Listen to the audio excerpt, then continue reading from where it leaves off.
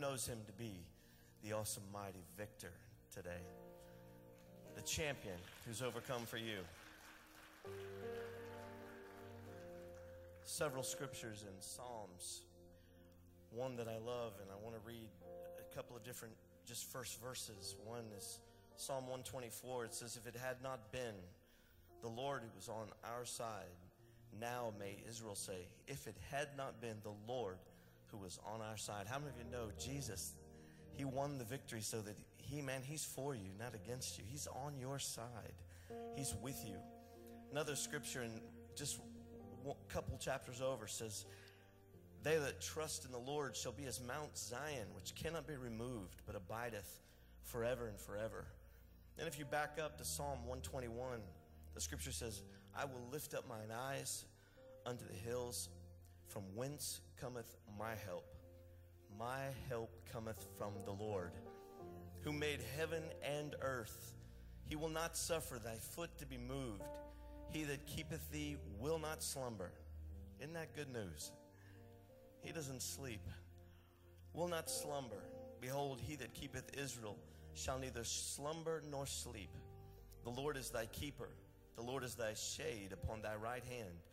The sun shall not smite thee by day, nor the moon by night. The Lord shall preserve thy, thee from evil. He shall preserve thy soul. And I love verse 8. Listen to this. The Lord shall preserve thy going out and thy coming in from this time forth and even forevermore. That is the promise of the victor, our King, Jesus Christ. Would you give him praise this morning? Amen. Amen. We have so much to be thankful for. How many of you had a great Christmas? All right, all right. If you're standing close to somebody you love real well, just get a little closer and rub shoulders with them a little bit. Oh, I watched y'all move. Awesome. Awesome. I want to go before the Lord in prayer right now. How many of you need God to touch in your family, in your life? Amen.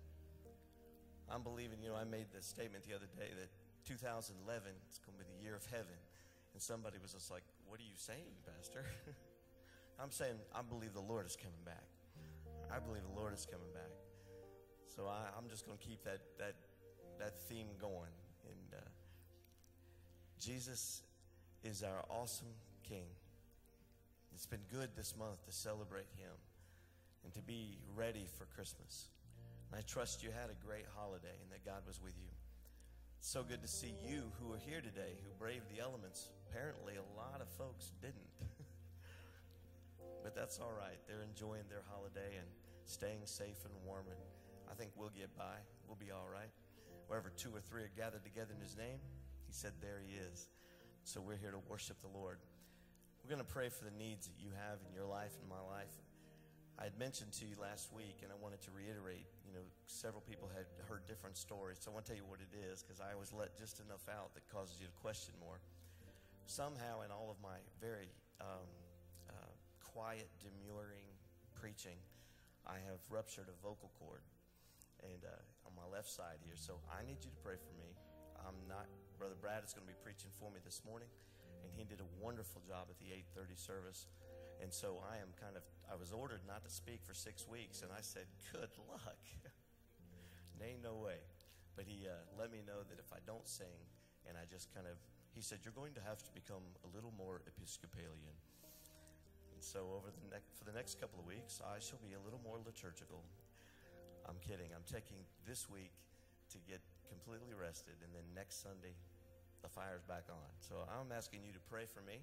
And that's the news. That's what it really is. It's not that nothing else. I didn't lose my voice and all that. But God is with us and God can take care of it. How many of you believe He can? He can. And He can take care of your needs as well. So as we go before the Lord this morning in prayer, we go in confidence and in faith, knowing God is an awesome, mighty God, and He is able to do anything. I expect great things this year. I expect that we're going to move into ministries such as we never dreamed were even possible. And I'm believing that God is going to keep leading us, and that involves you and I. So let's pray right now for the needs that we have. Father, As we come before you, we thank you for the privilege of being in your house. We thank you, Lord, that you are our God. You're our deliverer. And Lord, we can trust in you. No matter what situations, storms, troubles, trials we find ourselves in in this life, we are a people of thankful hearts because we have a God who is able to minister to every need. I pray this morning that you will touch every hand that was lifted up, every life, every heart, every situation as we give it to you this morning. We come in faith knowing that our help comes from the Lord. And we have great confidence in who you are, my Father. We just pray that you'll now minister healing and deliverance, that you'll touch your people with provision, that you'll lead them and you'll guide them all along the way. As we look to you and we thank you, we come thanking you and praising you because you declare in Joshua that when we call upon you, you will hear us. And so we give you great honor and glory today and all of the praise, for it's in that name, that name that first came so many th- couple thousand years ago to Bethlehem, that name that is above every other name, the name of Jesus Christ. We give you honor, we give you praise today, and the people of God, as we pray in the name of Jesus, said amen. Amen. Would you one more time just give him great praise? Would you help me to do that? Amen. He is worthy of our praise. You may be seated. So many of the holiday celebrations were so wonderful around here. Um, just want to remind you of this coming Wednesday night. Liz had already mentioned it, but it is a special time for our church. Last year, we, we brought all of the families and we ministered. We had several tables set up, and our pastors and staff was here today, here during that time, and we prayed over your family. We anointed them with oil. We had communion together with just your family as you came in together. And we start at 7 o'clock and we'll go until we're finished. But it was just such a special time. And I can't, I, what I remember the most about it was leaving out of here thinking, wow, how sacred that was. And how awesome it is to pray over your family and anoint them with oil for the coming year. So you want to come by Wednesday night. You only need to come by for a few moments. You don't have to stay. There'll be some, there's some that come and stay and stay in prayer, and that's fine. You can do that as well. But you're welcome to be here this Wednesday night, starting at 7. You can come anytime during the hours, anytime. We'll be here till probably around 9 o'clock. You can just come by and have prayer and communion with your family, and it's a beautiful way to start the new year. See, Sister Phyllis is out here. Good to see you, our friend. Would you help me to welcome Phyllis? She's with us today. Thank you so much for being here. I know you're here to see a beautiful little grandbaby. And that's wonderful. All the way up from, you're in northern Ohio. You've come down here to the warmth and tropics, haven't you? Yes, exactly. I heard it snowed in Atlanta this, this weekend. For Christmas, it, it snowed. I'm telling you, it's awesome. Beautiful, beautiful weather. Our ushers are coming to serve you. And as they do, I would remind you that uh, this is your last opportunity to give in this, this end of 2010. If you're here Wednesday, you also can drop an offering by. And some folks like to know that because they take care of end of the year donations. And so we're certainly in the receiving mode to help the ministries here at our church. All the loose offering, as always, will go to world missions. We have several missionaries around the world that we support. And what you give today will go to help them, to bless them at this holiday season. Also, as you pay your tithes today, that helps to keep the lights on here and keep the ministries in Middletown alive and well. So as you give, give as unto the Lord, knowing that God uses you and me. Father, we come before you. We thank you. We give you great praise and honor for the way that you bless the church, that you touch the church. I pray now for our missionaries around the world that you will touch them. Use us, Lord, to bless them and to meet the need in their life. Pray that you'll minister now, Father, through those who are regular to pay their tithes. For Lord, this is a blessing in our personal lives that help us to understand the way your economy works, the way that your kingdom works. And so we're grateful, Father. Bless those who are able to give. Bless those, Lord, who want to give and cannot. Please bless them, Lord. Understand, God, you are the one that gives. And Lord, we thank you that as we give back today, we give knowing that you use us to meet needs. In Jesus' name, amen. Didn't they sound beautiful this morning? Kwame, I have to say, you are phenomenal. He was able to come uh, this Thursday for Fusion and, and share with us, and, and he did a great job. and what's interesting about it is not only is he talented in doing he's taken a gift that God has given him. And he's worked and excelled in that to give it back to the Lord. And, and he's anointed to do so. And it's, it's encouraging because, as beautiful as that sounds, each and every one of us have a gift of some sort that God's given you. His desire is that you would give that back to Him to be ex- excellent, go over and beyond what's expected of you, and, and to, to use that for His glory. And every single person has one of those gifts. It's good He found His, and man has He found it. Many of you, same, same, same story. We find out what exactly God is calling you to do and, and step out in it and allow Him to sharpen you and to anoint you for it. If you would this morning stand in reading of God's Word, and if you would open up your Bibles to John chapter 3, verse 16 and 17. I take it you had a wonderful Christmas. I know I did. Uh, my newborn is, as Pastor says, meatloaf. Uh, she doesn't, you know, she just sits there. You just hold her and, and bake her and take care of her, and she's easy as gold. But the, uh, the two and a half year old, that's where the fun is. Because last year during Christmas, she was a year and a half, and she didn't quite fully understand what Christmas was. And there was presents, and she just liked to open presents that were shiny and cute, and she loved it. And of course, we had to help her. Well, this Christmas, there was no helping her. Uh, she wanted to open up my presents and her mom's, and had to tell her, simmer down, she's an overachiever. And, and she just loved it. She's excited, and, uh, and it's good because today we get to go visit more family. And uh, it's awesome. John chapter 3, verse 16 through 17 says, For God so loved the world that he gave his only begotten Son, that whoever believes in him should not perish, but have everlasting life.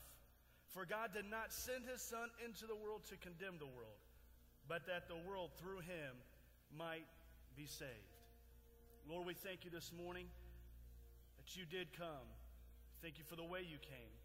We thank you for the service. We thank you, even though the roads, the snow's coming down and the roads may be a little bad, but God, it's still beautiful. It's so awesome. We can look out and see your splendor and your glory.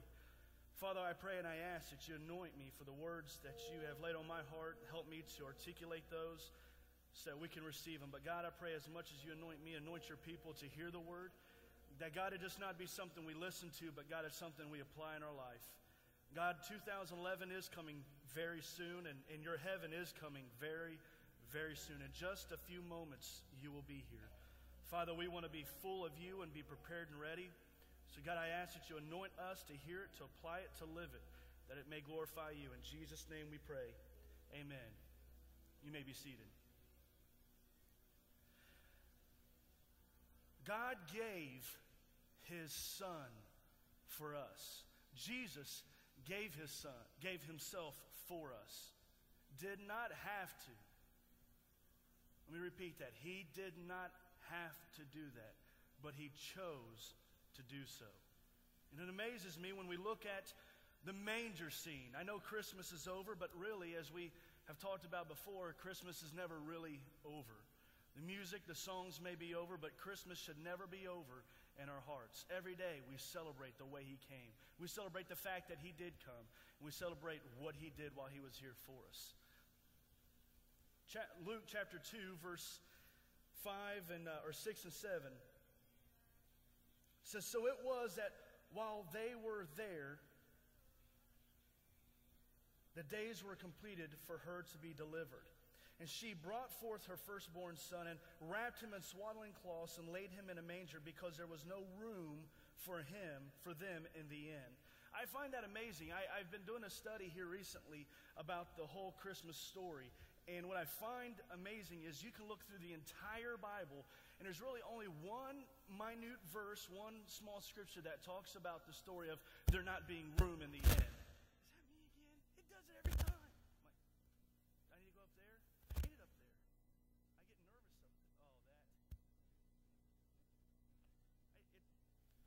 I get nervous, and there's a way I trick you to make it sound like I'm.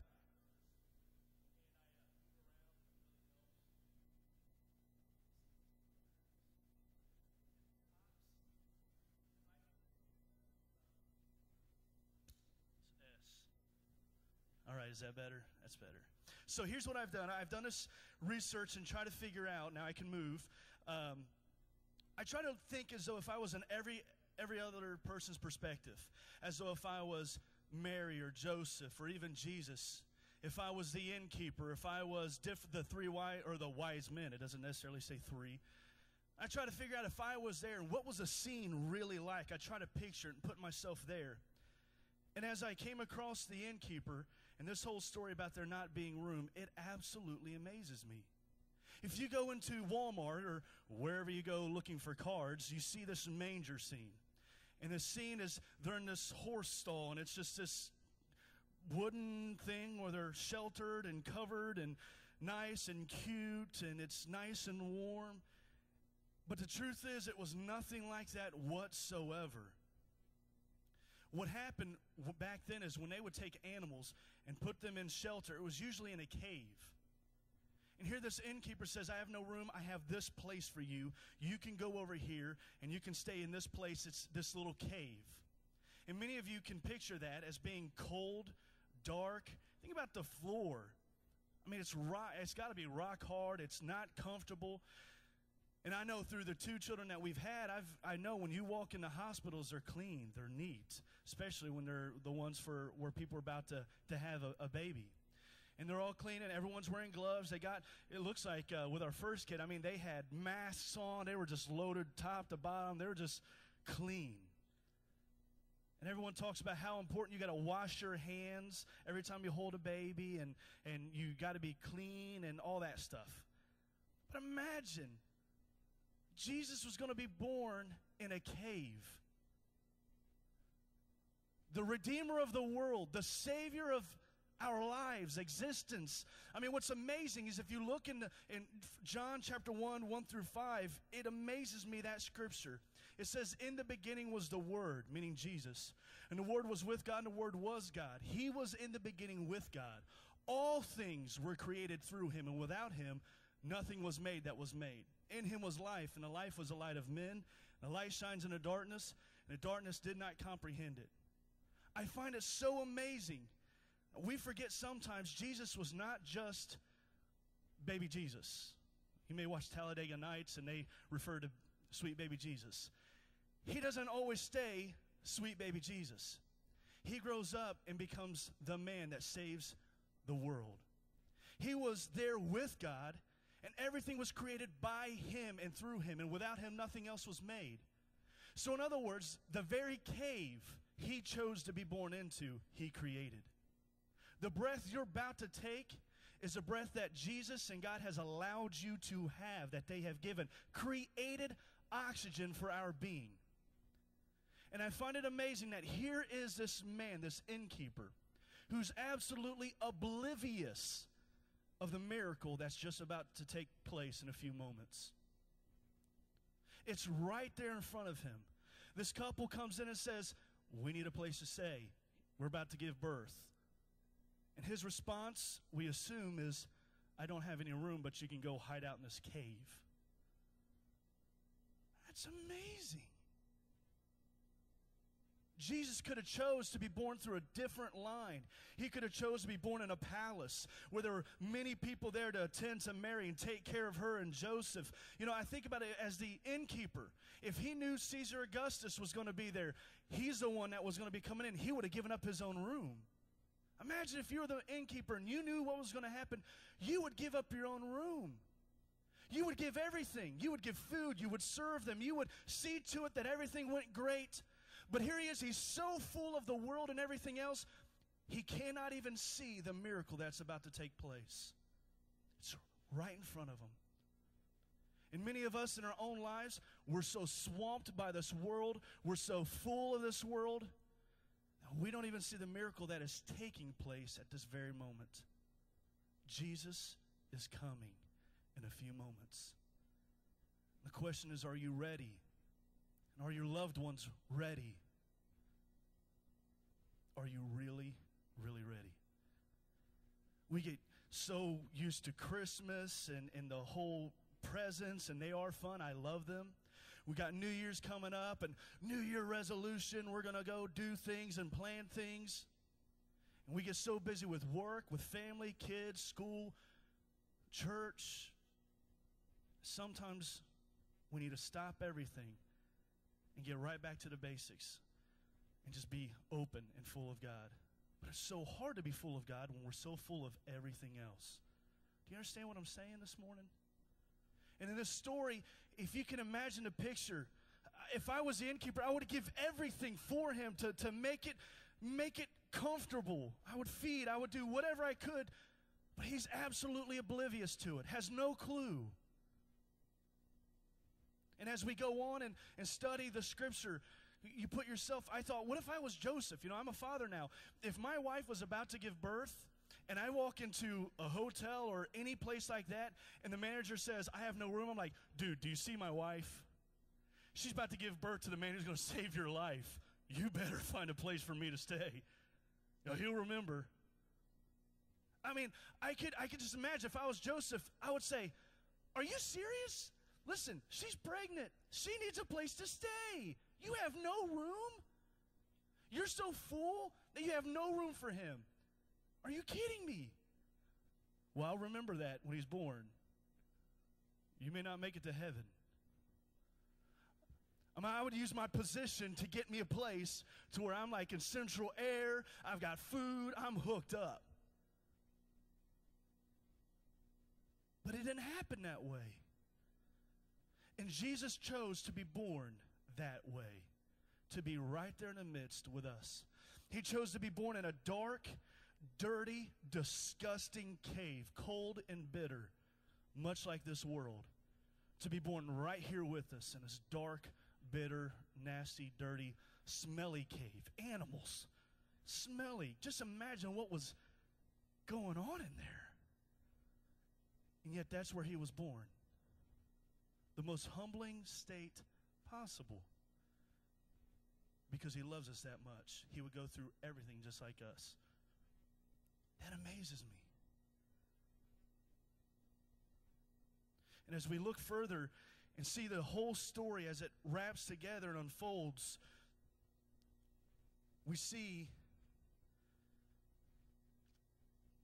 it's, it's much like in our own lives I wanted to bring like the bale of hay and have a big old illustration. And I thought it would be dirty and it was cold, it was snowing. I didn't do it, but I think you got the picture of what I'm trying to say. And what happens, just like the innkeeper, it happens in our own life. And if you can be honest, you could probably raise your hand, please don't, and say, you know what, there's been times in my life I've been so full of everything else my schedule, life, everything in existence. I have to do that. Sometimes I forget about what it's all really about. I become so full of this world that maybe God's trying to speak or try to tell me something, and I just can't hear Him because I'm so full of everything else that even in my own life, there's no room for Him. I'm a Christian, but in a way, we make it to where there's no room for Him because we fill ourselves up with everything else. We want to have what everyone else has. Got to keep up with the Joneses or keep up with the Kardashians or keep up with whatever it is we got to go have the nicest things. We got to go do the greatest things. And he's like, What about me?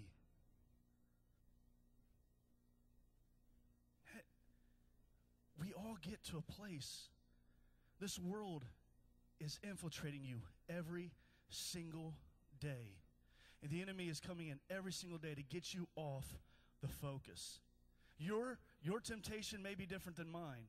But nevertheless, his idea is to get you off of Jesus and onto something else. So full of something else that you're not available to listen or to receive from him. And I remember my own life, seven, almost seven years ago when I first got saved, I was so nice to people. You know, when you first get saved, all those emotions are coming through. You love people you hate. You know, you, you just are loving. You're, you pray harder. You're God. It's all day long about God. You cannot stop coming to church. I find it amazing when I work with people in discipleship. It's like the first thing they say when they get saved, they're like, wow, I'm glad we have church tonight. I wish the church was open every day. And part of my mind, I'm like, me too, but you know, when you're in it for like three years, you may not want to be at church every single day. But you know what? I remember when I first got saved, I couldn't be at church enough. I couldn't be hearing the worship enough. I couldn't hear the word enough. I couldn't read enough. I could I had books, little uh, whatever they are, paper boulder folder things, just papers filled up where I would read Romans and go through and take notes and figure out my own life. I went out and got the application study Bible and figured out how does this apply in my life and did that for pages and pages and books of it. And over time, I just start doing devotions. I study, I read, I pray. And it's not that I don't love God, but I get so full of everything else that I feel like maybe I don't need God as much. What happens is we get so hungry for something that's artificial. You, maybe you heard me a few months ago on a Sunday night, I preached about traps. And I talked about a certain trap. If you go into hotels or, or colleges, colleges are trying to earn your business. They want thousands of dollars coming in. And you're making a decision. Do I give them thousands of dollars to go to The Ohio State University? Which, if you go anywhere else, you're wasting your time. Except for Lee. Maybe Lee, I guess. I'm just an Ohio State fan. I love them. But they want your money, and you're going through the halls, and they cannot get you to come to their college if there's rats running around, right? You're going to be like, wow, what's wrong with this place? My dorm is infested with mice and rats. And so, what they do, you can't put out little rat traps because that looks nasty and disgusting. So instead, they put out food for this rat or for these mice. And this food is like so desirable. It tastes so good for those little rodents that that's the only thing they will eat. They won't eat anything else but this type of food. They have to have it. And they will go in and feed on it and get full and full and full. But the thing about this food is there's no nutrition whatsoever. So they think they're full and they're eating and eating and eating, eating, but the truth is they're starving inside. They're never quite f- filled. And they'll eat and eat and they'll end up dying of starvation. Christians, many of us look to the world to fill us and fill us. And you know what? Let's be honest, it is tempting. It is desirable. It is good for a season. And we have to have more and more. When you open that door a little, it's more and more and more. And you're never full. You're always starving for more. And in the end, unless things change, you end up dying of starvation. What happens to us Christians as we open up that box, that Pandora's box, as we open that door and step in and start eating this over and over, it's like, and I, I about a year ago, I, I, preached about Chinese food. I love Chinese food. If you go on the internet and our website, which I assume all of you do because you can pay your tithes through the internet or our website, it's awesome, it's great, it's easy. When you go in there and you look at the staff bios, my favorite place to eat is not Carrabba's, it's not Maggiano's, it's not Olive Garden, it's the Golden Dragon right here in Middletown. If I can eat anywhere, it's the Golden Dragon in Middletown. But you know I find out they do? They're tricksters. Because when you're pulling up, you smell it, and your mouth starts watering. And you go in for lunch and pay $10 for a lunch, which I find amazing. How do you charge $10 for a buffet? You go in, and I'm not like, and many of the, there's no one that weren't here last time, but I get a plate, and it's like a monster plate. And I lay that plate down, and I go back and get another plate because I don't want to make more than one trip. I just want to sit there and have a feast. And I'll make my trip, and I have my plates full of my food. My, I love it. My mouth is watering, and yours probably is too. And I'll probably see you after church at China Buffet because last time I did that, I saw like 20 of you there. And they're like, man, you said that. That's where I was craving. But what happens is I'll go in, and I'll eat, and I'll eat. Do you know? I don't know if they do it now, but they used to put fillers in it. So you won't eat as much. You get full quicker. But then two hours later, you're hungry again. And I can go back and eat Chinese food again. I'm not going to pay the money, so I don't. So instead, I really eat just to get me by for two hours, and I go home and, and right through the kitchen. And that's exactly what happens in our own lives. And because we're always wanting more and we're never full and we're always needing more, we fill ourselves up with so much in this world, we're not open for God to do anything in our life. Ministry doesn't matter what it is, it's I can't right now. I'm too busy. I got work. I got this. I got this the family. It goes on and on and on. And what happens is we become bitter and we become stale. The other day I come home, I'm hungry. I haven't ate all day. I'm preaching a message about food. Someone's hungry. And I go home and I open that kitchen uh, or the, the refrigerator, and there's usually nothing in there. Disgustingly enough, I shouldn't say this, but we've had a ham in there since Thanksgiving, and I just threw it away. So I'm going in there, I'm looking for food, I'm hungry, and I don't want to cook nothing because that's too much work, and I'm hungry right now, and I see the golden treasure box, La Rosa's. And you know La Rosa's pizza's good after it's been sitting in the refrigerator for like three days. It's awesome. So I get the box out. I lay it on the counter and I'm like, oh, it's a feast. I can't wait. It's heavy. I open the box up, even better. La Rosa's garlic bread. Now, I don't know if you ever had their garlic bread, it is awesome. And I'm looking at it and I can smell it. And I'm like, oh, honey, you're awesome. You ordered LaRosa's. I don't know what you did for lunch. You should have waited till I got home, but awesome. And I open the box and I, I grab out like, you know, there's like 10 in there, and I grab like 10 and I put them on a plate and I put them in the microwave because here's the deal you don't want to eat cold bread because it's hard, right? But if you warm it up, it gets better. Better. Where's Phil? Is Phil still up there? He came out with an invention called the cookie humidor, which keeps your cookies soft. Doesn't matter, it's pretty neat.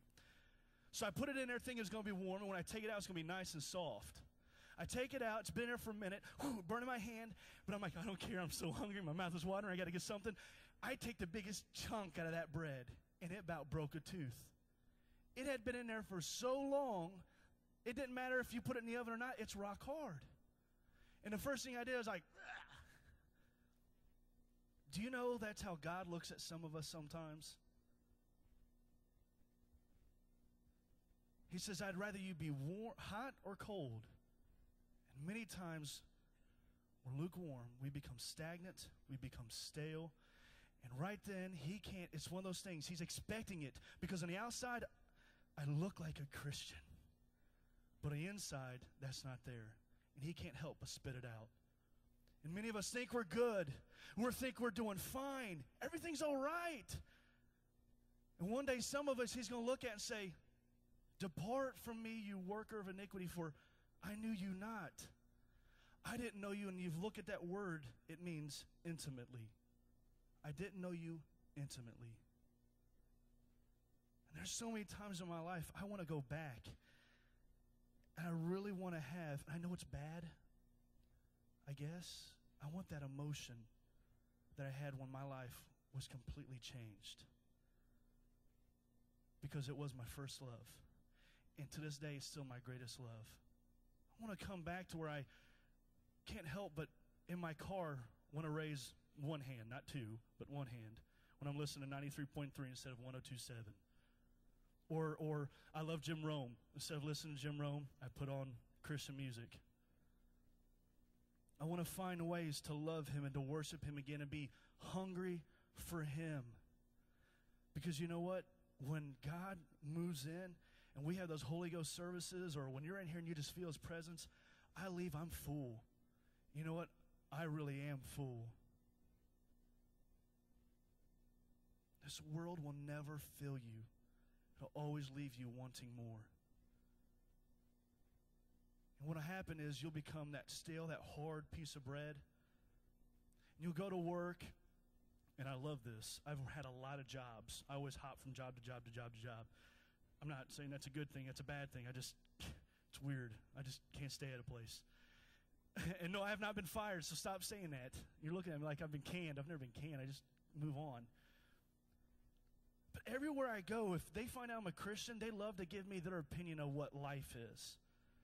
This is how life is. This is how you should live your life. You're too serious. You know what? It's not wrong to do some of these things me and my buddies do.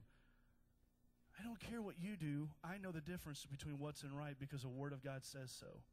And so many people who don't know God, I love how they love to tell me about God and what religion is. And they don't even read the Bible. You know what I'm talking about. And I want to be like, dude, I, am not going to pick on you. Dude, you don't even read the Bible. Why are you trying to tell me stuff about it? But you know, you'll hear enough of that, it almost starts coming in. And then they hit you with this move. Well, you're just not open minded enough. You're closed minded. Okay, fine, I'm closed minded. but at least I'm going to heaven. I'll go, I'll go to heaven closed minded. Fine. Listen, don't allow the world to pull you down. You either lift them up or you move on. We're supposed to love the world, to care for them. But you know what? The enemy will use them to tear you down, to get you confused. When you become stagnant, when you become stale, and you don't feel a, in love with God like you used to, you're open. And that's when those people the enemy will use to get you confused and wonder is God really loving? If God's such a loving God, why would He allow this to happen? If God's such a God, then w- can you explain this? There are so many people who think they know everything about the world. If they would just read the Bible, they'd understand about the world. Don't fall into it. Don't allow that trap to come in your life where you get hungrier and hungrier and you're never fulfilled. Listen, they sung the song, It's to Be All Right. You may go through a rough time, a very hard time, and you're looking for an answer. Jesus Christ is the only answer. The world can tell you there's this outlet, this drug, this can make it better, this will help you to sleep better, this will take care of that issue. But at the end of the day, there's only one answer. There's only one way to get to heaven, and that's through Jesus Christ. There is no other way. There is absolutely no other way. And anyone who tries to tell you otherwise have no clue about life. This morning, it's the end of Christmas. We're about to go into New Year. I don't know what your challenges are for yourself, what you want to do. You want to save more money. You want to accomplish this. You want to go on this vacation. You want to save up this or that. But this year, I want to challenge you to fall in love with God all over again.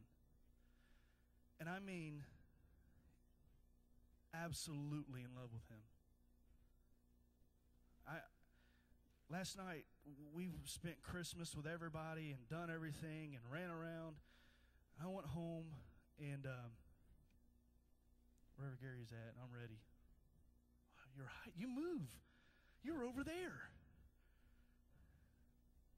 I went home and I was laying down in bed and I was thinking about this morning and I was thinking about how crazy everything's been recently. I mean, it's Thanksgiving, it's holidays, it's you know, do you get presents for people and how much do you spend? Because if this family member finds out you spent more on them than you did on someone else, they're going to be upset. And then you got this, and then you got those family members you really don't want to see, and on and on and on. It's stressful time. And we're about to go into a new year where we're supposed to be making decisions for 2011, going to heaven, whatever it is. We're wanting to do new things in ministry. We want to build a building. We're wanting to do a lot of stuff. We want to win the lost. And last night I thought, I was like, God, it's overwhelming how much work there is to do. It's overwhelming everything that's going on in my own life, the family, the kids. I mean, yesterday was one of the greatest times of my life, sitting there watching my two and a half year old just open her presents. It was fun. It's life. It's a gift God's given me, and I enjoy that gift. But you know what? It can be stressful everything can just weigh you down. And I remember I was just praying and I said, Lord, I don't want to be weighed down and I don't want to be so full of this world or so full of things that are just not you. I want to be so full of you. I don't want to not do bad things just because someone tells me to. I want to be in so love with you that I don't want to do things that are not of you. I mean, people will tell you what's right, what's wrong, but the more you fall in love with God, the more you just know, I want to do the things of God. I'm not hungry to listen to that or to go there to do that or even hang out with those people. Not because someone told me, because I'm so in tune with Him, I know what He wants for me in my life. I said, Lord, it's just stressful. It's a lot of stuff we're doing, it's so much. I sat there with my little two and a half year old, and I just started praying. And I said, God, I want to be sensitive to you. I want you to make my heart pure, soft, not hard, not bitter, not cold, not dark. I want to love people like you want me to love people. I want to love you. And I know it's impossible, but God, I want to love you like you love me. And man, I just couldn't help but feel the presence of the Lord right there in my room last night. I thought, God, I want you so much. You know, sometimes I want him so much that I just wish he would just show up right now so I can just go to heaven. And he is coming. But there's a work for us to do in this time. I want you this year to not be so consumed of the world and so full of it that you don't see the miracle that's taking place right now in your very life. If you would stand, please. This morning I want you to I want you to think about that. I want you to think about in your life what things can you do less of and you can replace those more with God. Sometimes it's as easy as just raising your hands, doesn't matter where you're at, and just saying, God, this life you've given me does not belong to me. You've allowed me to live this life, but here soon, I'm going to have to give it back to you. Help me to make it one that honors you when I give it in return. If you're looking for an answer, you're not full and you just find yourself always needing more and busyness of the world, yet you're never fulfilled, Jesus is your answer this morning. Jesus is your answer for the rest of your life. And tonight, maybe you're one of those people. Maybe you just came in here because someone drug you in here, or you've been searching, you just happen to show up. But this could be the moment in your life where you make the greatest decision you'll ever make. If you close your eyes, if the ministers would please come down to the front. This morning, if if you're not full of God, you've you're starving inside because you're so full of everything else, yet you're still empty. Yet inside, you're just starving and needing Him. He can fill you overflowing this morning with peace that you can't even comprehend or understand. This morning, if you need to give your life to Jesus Christ, I'd ask that you would reverently just step out from where you're at and come forward. We had someone in the 8:30 service get saved. Maybe this morning it's it's your opportunity. This is your time to get things right with him. To never go back, to step forward in the new year and serving Jesus Christ. Is there anybody that would be bold enough to say, God, I'll step out? I'm ready to make a real decision to follow you.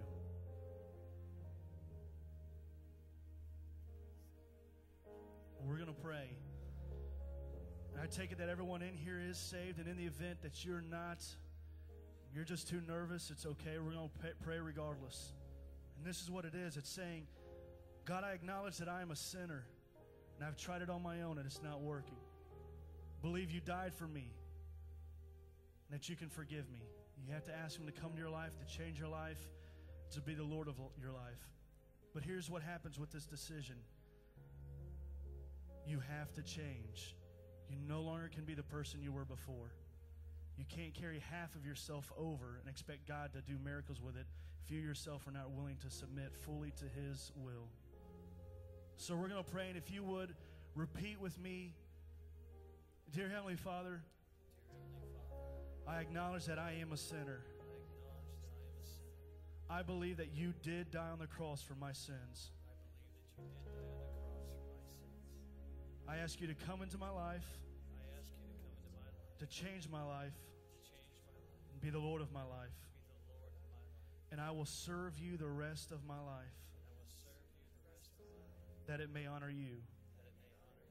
Now strengthen me, Lord and help me for this battle.